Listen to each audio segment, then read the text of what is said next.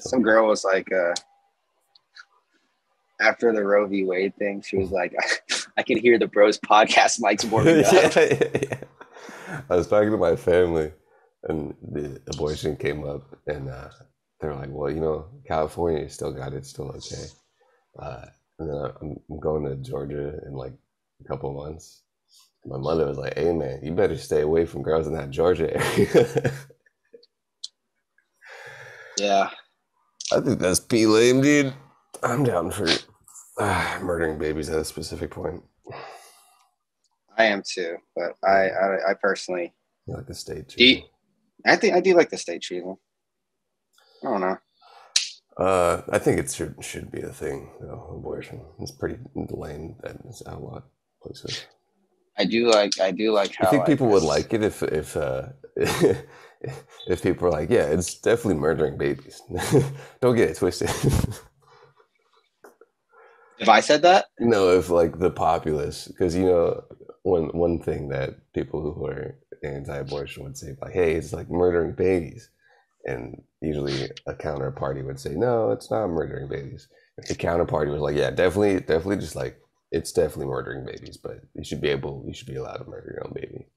I was at a pro- protest filming it, and that was the sentiment. Like, yeah, we're murdering kids, but Yeah, We you should, should probably be allowed to murder. I mean, yeah, you know, I like how I like how like I say oh, I want the states to decide. Everyone's like, oh, you Christian, you you you hate women, you I still, I still think I'd, I'd, I'd go on the version of federal, just because I think that's a pretty okay right to have.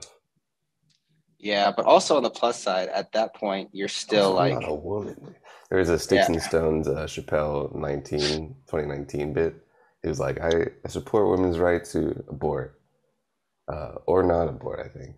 But he was like, then men should also have the right not to pay if you have the baby. bro, a hundred percent, Yeah. a Anyways, hundred two percent. dudes talking about abortion in a podcast. Um,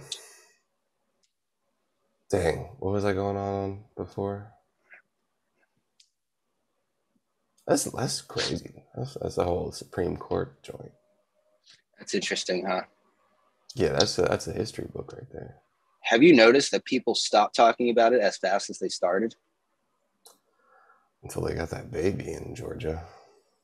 Like I, haven't seen a Roe v. Wade post in like six ten hours. It's always fun to talk about the uh, the zeitgeist of short-term news cycles, and uh, I always try to go back and with the homie, I was like, well, it was. Uh, this is the farthest I can think back right now, besides skipping a couple plot points.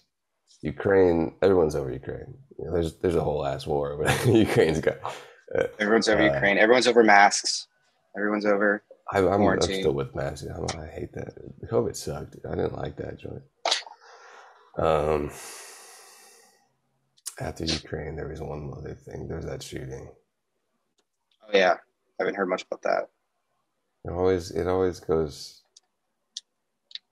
It bubbles up during uh, election time, uh, and then freaking whole ass abortion right overturned in Supreme Court. That's wild, man.